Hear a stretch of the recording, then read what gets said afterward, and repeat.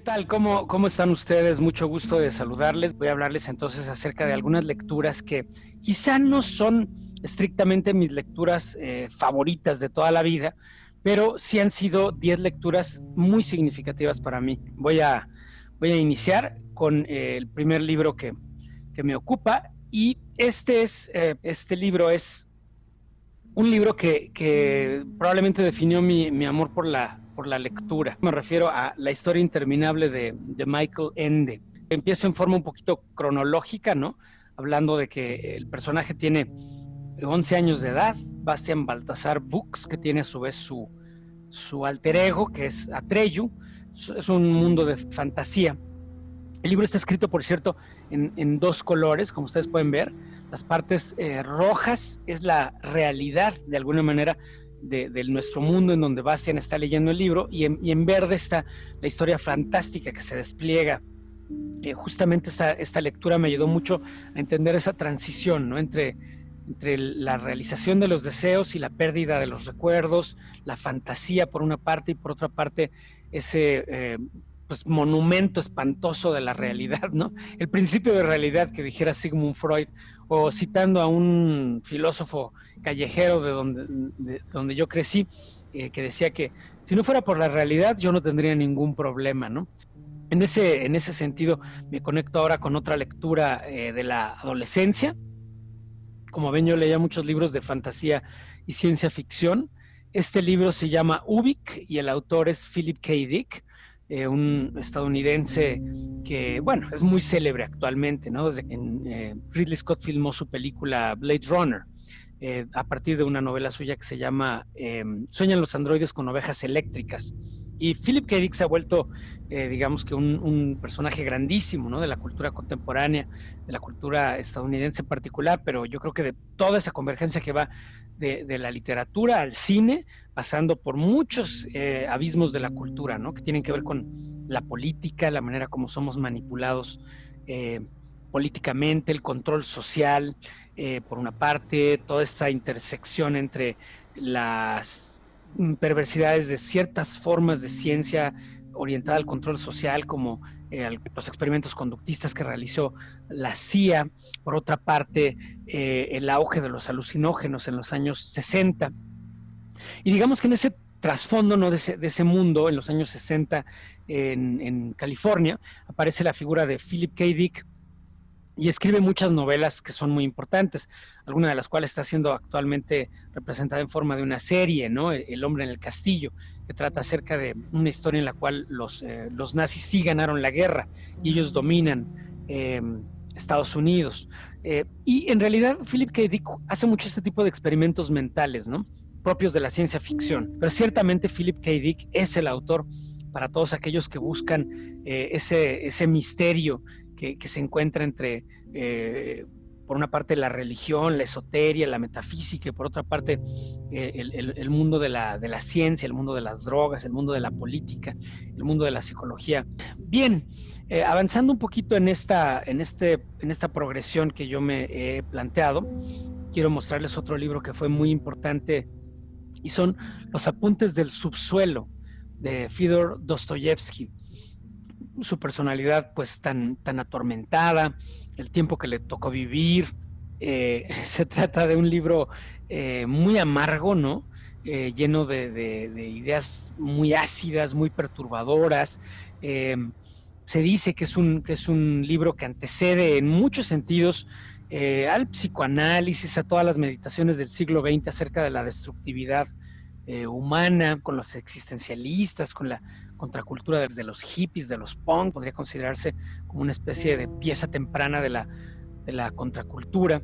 Eh, pero sobre todo a mí me perturbaba mucho el, personaje, ¿no? Eh, como, tal, todas sus contradicciones, la manera como plantea con esta especie de cinismo, ¿no? Esta, eh, digamos, ah, anhelo que tiene de no cuidarse a sí mismo por rabia y de autodestruirse. Entonces, definitivamente, Fedor Dostoyevsky y los apuntes del subsuelo serían mi, alternativa o mi opción, eh, que en este caso es situado en tercer, en tercer lugar. Bueno, ahora voy a referirme a otros, eh, a otros textos. Em, tengo aquí a la mano en cuarto lugar a Milán Kundera, ¿no? El libro de los amores ridículos, porque son cuentos construidos con una enorme malicia por, por Milán Kundera, ¿no? Es un relato histórico de lo que estaba ocurriendo pues, hace varias décadas en, Europa del, Este. En contraste con ese eh, tipo de relatos sociológicos, eh, Kundera nos plantea otras exploraciones increíbles de la psicología humana, como eh, hay otro relato donde yo creo que es un poco, es casi un autorretrato, no es un personaje que es un hombre ya maduro, de hecho ya está cerca de los 70 años de edad, eh, pero fue un gran mujeriego, ¿no? Un don Juan, un Casanova, todos sabemos que Kundera tuvo quizá esa vocación, o al menos así lo ha expresado en la literatura, a lo mejor es parte de su alter ego literario, pero eh, justamente él como, como en la vida está en otra parte y en, ah, perdón, sobre todo en, la insoportable levedad del ser, explora mucho esa dimensión del deseo masculino que nunca es saciado, ¿no? Y que siempre está buscando más, más allá y no importa con qué crueldad, em, digamos que destruya relaciones humanas con, con las, eh, pues las mujeres que se enamoran de, de este este hombre, este galán, que típicamente es un, hombre maduro, ¿no? Un hombre maduro que ya tiene, que ya no tiene la inocencia, ¿no? Del, enamoramiento temprano.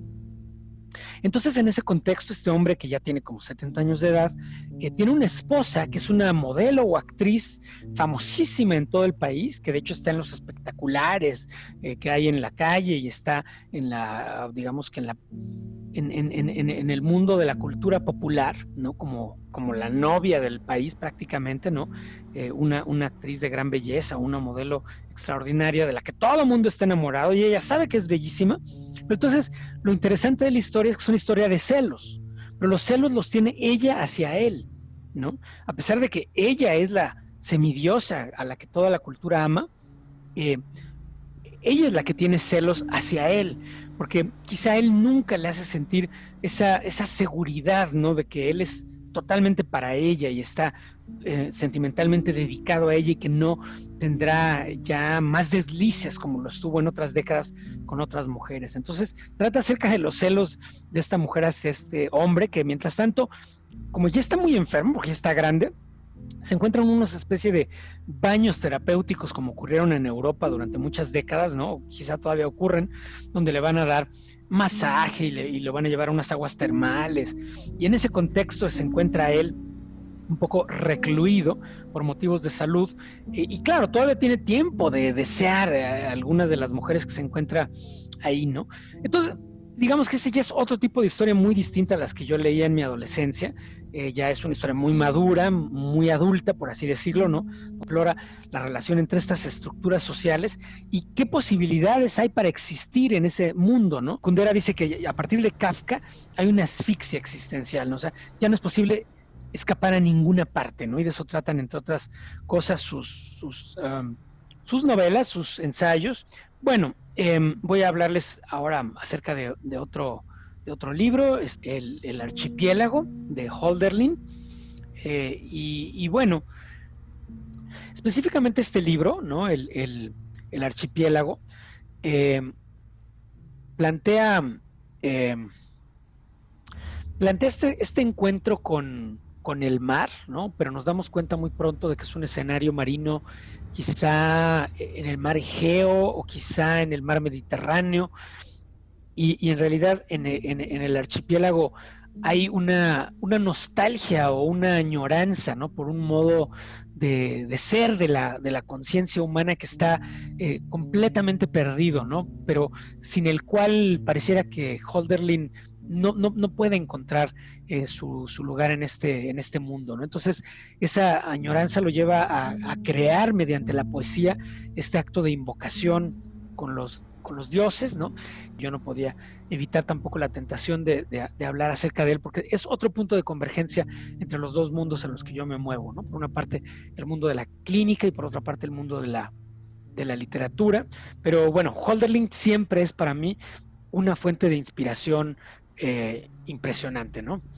Y bueno, en, ese sentido, y ahora voy a mi pieza número 6, entonces les muestro a mi ah, querida monja, eh, Sor Juana Inés de la Cruz. Primero sueño, eh, que es el poema al que me refiero, em, por supuesto fue objeto de un, análisis muy profundo por Octavio Paz en su libro, en, su libro Sor Juana y las trampas de la fe, ve en, Primero Sueño una, una, búsqueda, una búsqueda metafísica.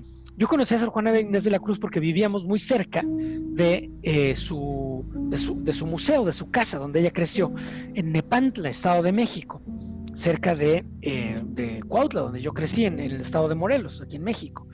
Entonces, íbamos a casa de Sor Juana y mi, padre, que ni era feminista ni, ni, nunca se las dio de feminista, ¿no? De hecho, yo creo que, digamos, tenía todo, toda la cultura machista de su época, pero cuando entraba al Museo de Sor Juana y leía los versos de Sor Juana... Hombres necios que acusáis a la mujer sin razón, sin ver que sois la ocasión de lo mismo que culpáis. Si con ansia sin igual solicitáis su desdén, porque queréis que obren bien, se las incitáis al mal, combatís su resistencia y luego con gravedad decís que fue liviandad lo que hizo la diligencia. ¿Cuál mayor culpa ha tenido una pasión errada, la que cae rogada o el que ruega decaído? ¿O cuál es más de culpar, aunque cualquiera mal haga, la que peca por la paga o el que paga por pecar? Pues para que os espantáis de la culpa que tenéis, queredlas cual las hacéis, o hacedlas cual las buscáis. Cuando mi padre leía esos versos, se sentía tan atraído al mismo tiempo y, al mismo tiempo eh, obligado, ¿no? Por la lucidez de, Sor Juana a reconocer, ¿no? Este, esa eh, terrible inequidad de, género, ¿no? Y por así decirlo, durante unos momentos casi se volvía un, feminista y hablaba y despotricaba en contra de los hombres y el machismo y, todo eso, ¿no? Entonces, yo conocí a Sor Juana así, ¿no? Como, como esa poeta feminista, esa gran visionaria, ¿no? Que había hecho esa crítica a la masculinidad. Eh, pues es una hazaña poética como hay pocas, ¿no? O sea, cuesta trabajo encontrar antes o después de su época, un poema tan ambicioso en, términos de reflexionar esa eh, reflexión filosófica que de alguna manera busca abrazarlo todo, ¿no? Esa visión de la totalidad cósmica y al mismo tiempo que explora la conciencia humana, pero con esa especie de ironía, ¿no? Que le permite encontrar, eh, pues, el fracaso este, inherente a, esa, a ese anhelo, ¿no? Bueno, y ya, que eh, les, hablé un poquito de la figura de mi, de mi padre, voy a hablarles acerca de mi séptimo libro. Es una novela que él escribió, Cerca del Fuego. Em, bueno, mi, padre es un autor muy, muy conocido en, México, ¿no? Eh, José Agustín, él, digamos que hizo eh, una obra muy, muy precoz. Hizo una novela que se publicó cuando él tenía 19 años de edad, La tumba, se alejó mucho, digamos, de toda la mitología también de la literatura posrevolucionaria, de la, literatura rural, de Juan Rulfo, de, también de los grandes anhelos revolucionarios de, eh, de, José Revueltas, que, fue uno de los maestros de mi padre y lo conoció cuando estuvieron juntos en la cárcel en Lecumberri. Bueno, mi séptimo libro es El Camino de San Giovanni, de Ítalo Calvino. Yo creo que Italo Calvino para mí representa una vocación de la literatura que nos conecta con la vida. Él hace mucho la defensa de la levedad en su famoso libro Seis propuestas para el próximo milenio. Eh, a contrario de Kundera, ¿no? que defiende el peso la insoportable levedad del ser. Son como dos vocaciones antagónicas de la literatura.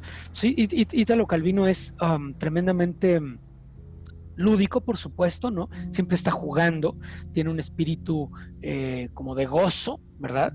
No por esto es menos lúcido en su análisis y en su crítica social. Tiene novelas o libros que revelan pues, todo el escenario de la posguerra en Italia terrible, ¿no? Verdaderamente aterrorizante.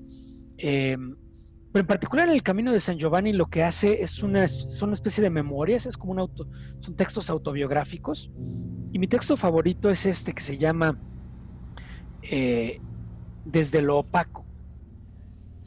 Desde lo opaco, de Ítalo Calvino.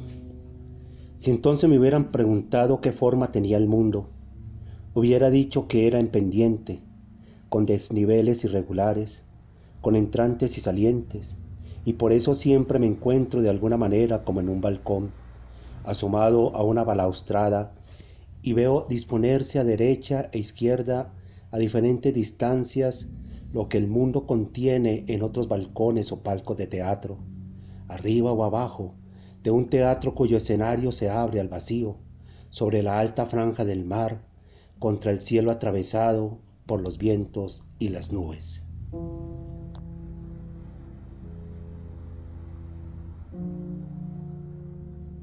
Entonces es una memoria poética casi abstracta, o sea, eh, Italo Calvino da un paso atrás y contempla el mundo como una especie de eh, creación geométrica, ¿no?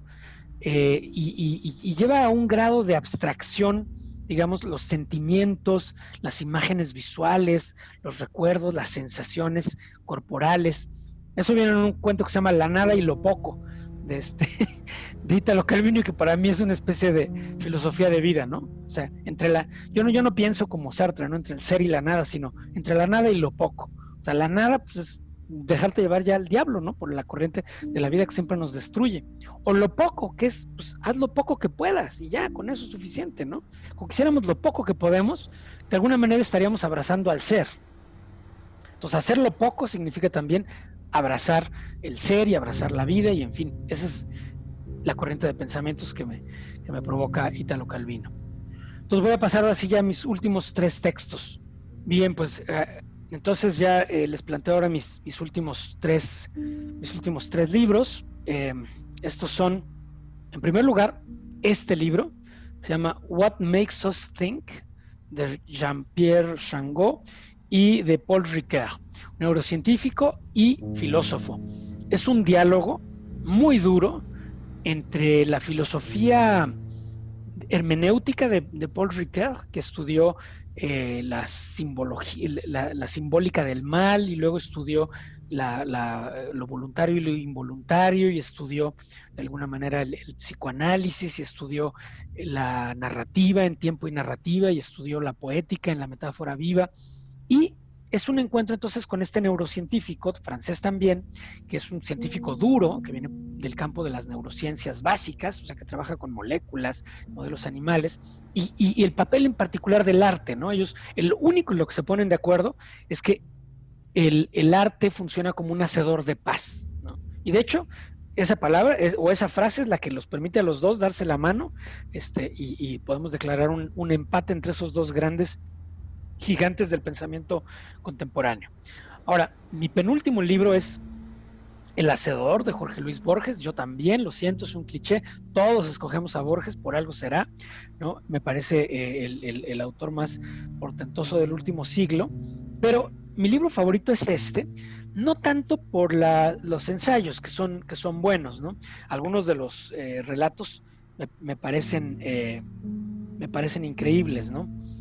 Poemas son lo que más me, me conmueve. A mucha gente no le gusta la poesía de Borges porque aparentemente es una poesía muy intelectual, se dice. Stanislav Lem creía que era un humor involuntario el de Borges. Yo no creo que sea involuntario. Por ejemplo, este poema sobre el ajedrez, ¿no? Ajedrez, de Jorge Luis Borges. 1. En su grave rincón, los jugadores rigen las lentas piezas.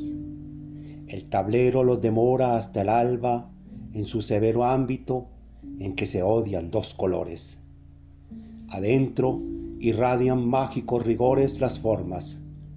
Torre homérica, ligero caballo, armada reina, rey postrero, oblicuo alfil y peones agresores.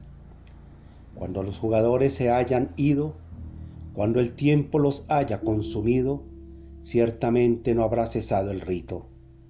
En el oriente se encendió esta guerra, cuyo anfiteatro es hoy toda la tierra. Como el otro, este juego es infinito. 2.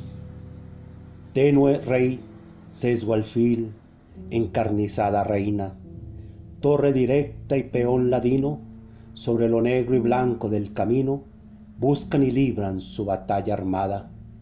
No saben que la mano señalada del jugador gobierna su destino no saben que un rigor adamantino sujeta su albedrío y su jornada. También el jugador es prisionero, la sentencia es de Omar, de otro tablero de negras noches y de blancos días. Dios mueve al jugador y éste la pieza, que Dios detrás de Dios la trama empieza de polvo y tiempo y sueño y agonías. Por supuesto, uno de mis poemas favoritos es Arte Poética, ¿no? Que, habla de, de, Ulises, otra vez esta vocación de los griegos. Cuentan que Ulises, harto de prodigios, lloró de amor al divisar su Itaca, verde y humilde. El arte es esa Itaca de verde eternidad, no de prodigios. Eso, eso es, digamos que un poema en torno al, arte del, del, ars poética, ¿no? Eh, y, esa metáfora de la, de, la, de la, eternidad verde para entender el, el, arte, pues me, por supuesto ha sido muy inspirador para mí. Finalmente, mi, mi libro con el que termino es Las mil y una noches, ¿no? Rigurosamente anónimo, eh, y, bueno, porque ese libro probablemente que, resume la idea de que la literatura puede salvarnos la vida. Es un libro que digamos que trasluce una sociología atroz, ¿no? Que tiene que ver con, el feminicidio, además ritual para conservar el poder eh, del rey, ¿no? En general, creo que en la literatura somos capaces de recuperar ese, ese ser perdido, ese ser olvidado, ¿no? Al que se, refiriera en su momento eh, Heidegger. Y en fin, estas son mis lecturas que quería compartir con ustedes. Les agradezco eh, muchísimo a los organizadores por la oportunidad de tener esta conversación en torno a la literatura. Muchas gracias.